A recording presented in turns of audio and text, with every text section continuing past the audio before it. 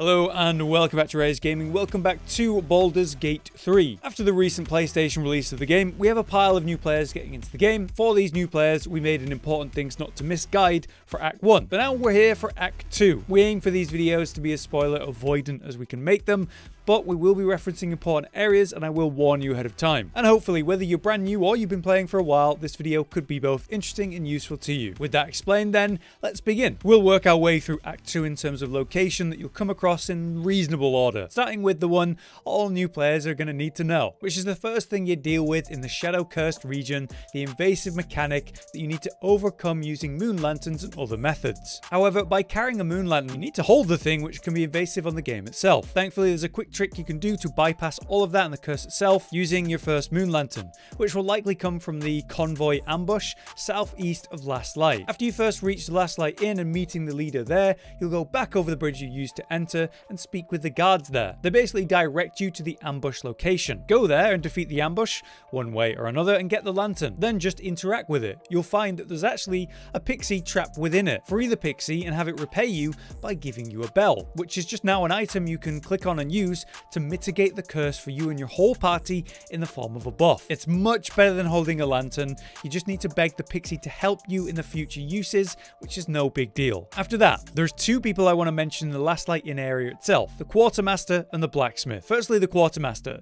She sells some really good gear, but one item that's ridiculously good and somehow a green is one I never noticed in my first playthrough. Now, obviously, she sells the incredible Shield of Devotion, and the Incandescent Staff. Both are clearly good, they're purples, and both have strong effects you're most likely going to want to buy and use. However, it's one of the greens down below that's truly insane, the Cloak of Protection. By wearing it, you get a plus 1 to your AC and your saving throws, which is so strong because anyone can wear these cloaks with no real downside, so any build or party member should be benefiting from that perk. And since it's only a green, it's really cheap for how good it is. On the other side of the yard then, you've got the Blacksmith that you met in Act 1. Now he's got access to a better forge, he offers you some more services, including making the Helldusk armor set, but what it really means is the flawed version. This is the helm, chest, and gloves, and honestly, even though they're flawed, they're really good, especially the gloves. The issue here is he wants 3 Infernal Iron to make all 3 pieces. These items you find all over the game, but you can find an easy 3 in Act 1 and even more in Act 2. Once you have 3, you can immediately use them to craft the set, but here's how to find 3 in Act 1. Firstly, there's the easy one in the Blighted Village. It's just in the blacksmith's cellar, found in a chest on the ground within this room. The second would be found in the Goblin Camp. The leader, that Red Hobgoblin,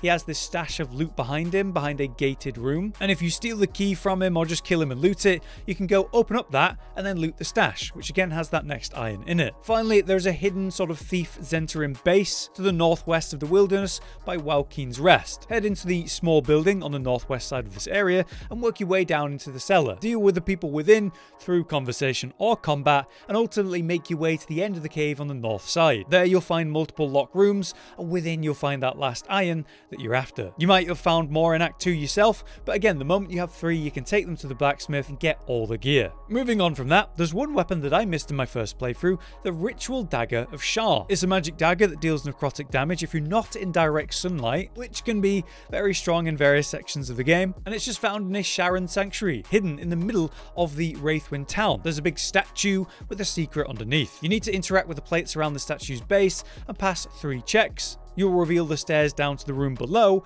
which then has that massive statue of Shar. You'll see the dagger just there, but it's a very good idea to use Shadowheart to interact with it if you don't have someone with like history or religion to identify what's going on here. Shadowheart will know that she needs to make a sort of cut and blood sacrifice to satisfy the situation, and that will spawn in some extra goodies. Some useful scrolls and potions, which are well worth having, and obviously it's very easy to get, as well as the dagger, which when you pick up, you will trigger a fight. Once you clear that, you can leave with all the loot in hand. At this point, you know, there's a bunch more things I could talk about in the open region of Act 2, but I have covered them in a variety of videos, so I'm going to move on to the Moonrise Tower secrets now. Moonrise Towers is an important story location at the southern point of the map. We can simply enter by pretending to be an absolute, speaking with the NPCs within before progressing any combat story. It's important to make the most of this kind of brief period of pre-combat, so let's do that. Firstly, upon entry in the hall, there's two vendors, a bugbear and a gnome that sell some really good stuff. The main two items I want to highlight though are the Halberd of Vigilance and the Drakethroat Glaive, which serve a very similar purpose to one another. In short though, the Halberd is a popular and recommended by many item and is worth getting, but it seems that the glaive is arguably better. This is due to the fact that it has its own ability to enchant itself to a plus 3 weapon up from a plus 2, and then add a 1 to 4 element damage on the attacks. You'd think this would require, say, concentration, but it just doesn't, so it's kind of insane, and overshadows the still very good halberd by comparison. After that, there's a well-known thing that I need to include in a video like this, and it's the Potion of Everlasting Vigor, which results in a permanent buff to your strength for whoever drinks it. Not something you don't want to miss, and is gained by simply talking with the strange blood-interested NPC on the ground level, Araj. You need to bring Astarion with you because she becomes very interested in him. Talk with her and agree to let her take some of your blood, and then she'll want to talk about Astarion. Convince him then to drink her blood, which she somehow wants, and she'll reward you with the potion for that plus 2 strength permanently. Just be sure to convince him well and apologise after if you want him to still like you. Next, we have something I completely missed in my first playthrough, a potential permanent buff for Gale, or just a useful summon. In the secret room of Balthazar the Necromancer, on the higher level of the Moonrise Tower, there's a green skull sigil on the table. To get in this secret room, you need to find the heart in the room and place it in the pedestal that reveals it, but then have Gale interact with the green sigil on the table and choose to erase it. Gale will now be buffed with Mystra's Benevolence, which is a buff that causes Gale to have advantage on concentration saving throws, which is going to be really good. Gale is always casting concentration spells. It's very good. Obviously, you'll be using haste all the time. It's one of the best. Giving him a way to keep haste buff and dodge the concentration breaks, that's going to be a good thing. However, there's an issue with this buff. It seems like it's meant to be permanent, but it clears after a long rest. With that in mind, you might want to do this buff right before, say, a big fight. It seems like something that should be permanent or lasts a lot longer, and there are reports that this is actually bugged. So we'll see if that changes. Alternatively, you could use a dead pixie in the room and a broken moon lantern you find in there on the sigil. Combine them and craft a new moon lantern, which also results in an interesting summon. Another thing I missed myself, that Shadow Lantern Wraith summon. Once per long rest, you can summon it, and it makes for quite the strange summon. So this is a choice you can make, but be aware that Mystra is not going to like the one where you make a monster.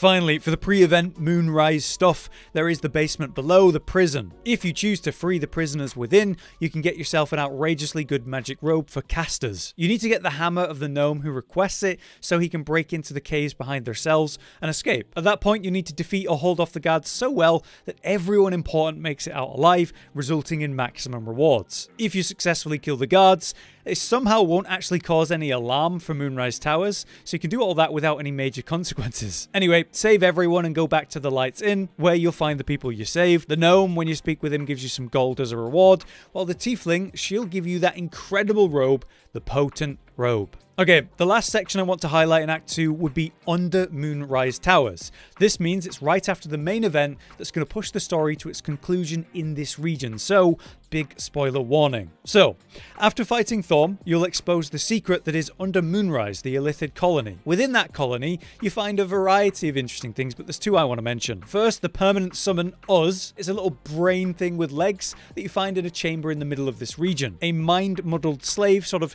tends to these horrible creatures, and he mentions that there's one that's not sort of behaving right. It's not obeying him. So if you convince him to take it away, he'll just let you free it and have it. And as easy as that, it becomes the ability on your hotbar to summon it whenever you want, which works as a useful meat shield with some useful skills. Second and last down here that I want to mention is the permanent buff that results in permanent advantage with intelligence saving throws, which is another thing I missed. You'll find in one of the main rooms of the colony a head and an interface next to it. This is the Mind Archive interface, and to use it you need to find mind items, like waking, fresh, dark, or true minds, and insert them into the console. You can get some interesting conversations through that, but we care about the one near the Blade of Oppressed Souls room. Basically, you need the Waking Mind, found after completing the Necrotic Lab puzzle, which is basically having you connect all these colours together on a sort of big brain, revealing the room behind it, where you pick up the Waking Mind. With it in hand, we can return to the Mind Archive interface from earlier, and using the waking mind, we'll end up speaking with a monk who begs our help. Do what they ask and purge their mind, and you'll receive the mind barrier buff. This is what results in that strong as hell buff, and it's certainly something that you'll want rather than miss out on in that area. But there you have it. Act 2 and its variety of important things not to miss, with some incredible items, as well as some potent buffs for your playthrough. A good chunk of these I missed myself, so I do hope it helped you. If you guys have more things that you think people should not miss, that are secret somewhat in Act 2, then drop it in the comments. Maybe you'll help someone. For now then, I've been Hollow, you've been you, thanks for watching, and we'll see you next time. Josh, Cotton, and Hollow with the videos, dropping the humor like a hammer on your tippy toes, bringing entertainment on a daily arrangement to take our insanity and turn it into entertainment. Yes, I said entertainment twice to reiterate that it is nice to look into your faces on a mostly daily basis when you let us in your homes to make the whole world a stage. Is uh goodbye.